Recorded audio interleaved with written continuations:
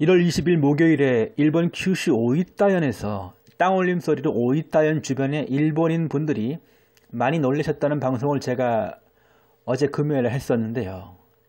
이 오이따현에서 땅올림 현상이 목요일에 발생한 지 이틀 뒤인 오늘 토요일 새벽 1시 8분경에 일본 큐슈에서 이 미야기현 동쪽 바다인 슈가나다를 진원으로 하는 규모 6.6의 강진이 발생을 하였습니다.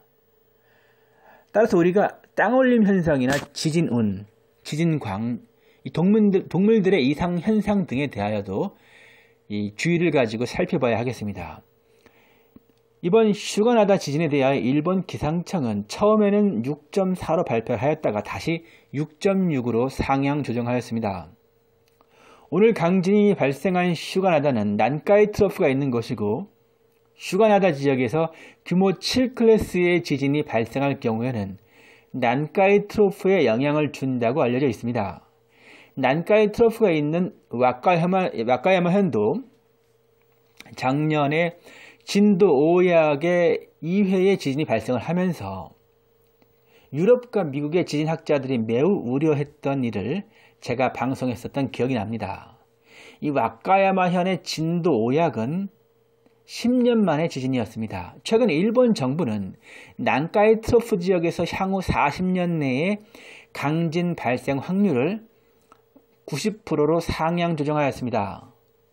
이번 슈가나다의 지진이 1월 15일 발생한 통가 해저 화산 폭발 이후에 이 마리아나 해구를 지나서 오가사와라 제도와 이즈 제도를 지나서 큐슈에 영향을 줬을 수도 있습니다. 물론 이것은 제 개인적인 생각일 뿐입니다.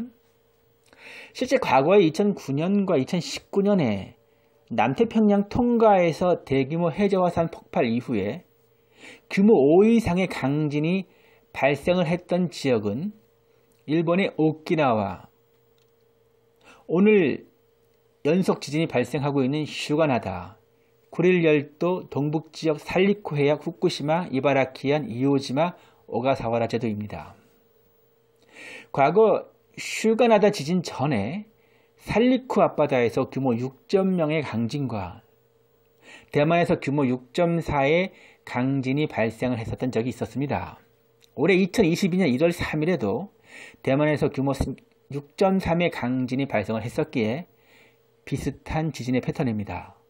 또한 2019년 통가 해저화산 폭발 이후에 쿠릴 열도에서 규모 5 이상의 강진들이 많았고 슈가나다에서 진도 5약이 발생했으며 네무로와 도카치에서 진도 4가 발생을 했었으므로 앞으로 홋카이도의 강진에도 주의가 필요해 보입니다. 이번 지진으로 큐슈 오이타현과 미야자키현 일부 지역에서 진도 5강의 흔들림이 관측이 되었습니다. 일본 기상청의 지진 등급인 진도 5강은 대부분의 사람이 뭔가를 붙잡지 않고는 걷기 힘든 수준의 강한 흔들림입니다. 실내에서는 천장의 식기류나 천장의 책이 많이 떨어지고 고정하지 않은 가구는 넘어질 수 있어서 일본에 상당한 피해가 우려되는 상황입니다. 또한 한국에서도 이번 지진의 진동을 느꼈다는 신고가 잇따랐습니다.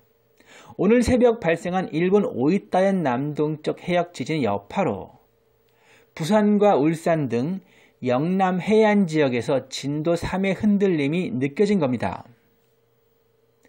국내에서는 최대 계기 진도가 부산 지역에서 3이 나왔고 진도 3이라는 범위는 건, 건축물 위쪽에 있는 사람들은 현저하게 느낄 수 있고 정지하고 있는 차 안에서도 약간의 흔들림을 느낄 수 있는 상태입니다. 이번 슈가나다의 지진으로 깜짝 놀라서 새벽에 잠에서 깬 시민들은 당시 강한 진동이 10초 넘게 이어졌다고 전했습니다. 최근 일본에서 지진 횟수의 감소가 계속하게 발생을 하고 있던 부분을 제가 방송에서 여러 번 말씀을 드렸는데요. 이러한 불안한 상황에서 발생한 이번 슈가나다의 지진이기에 매우 안 좋은 시그널로 보여집니다. 지금 제가 방송 녹화 시간이 오후 12시 35분인데 현재까지 28번의 지진이 큐슈 슈가나다에서 발생을 하였습니다. 최근 계속해서 유럽의 지진학자들이 일본의 강진에 대한 경고가 있었습니다. 최근 브레고리 지역에서 12월 중순 이후로 계속하여 침발 강진들이 발생을 하여서 유럽의 지진학자들이 계속하여 경고를 하던 중이었습니다.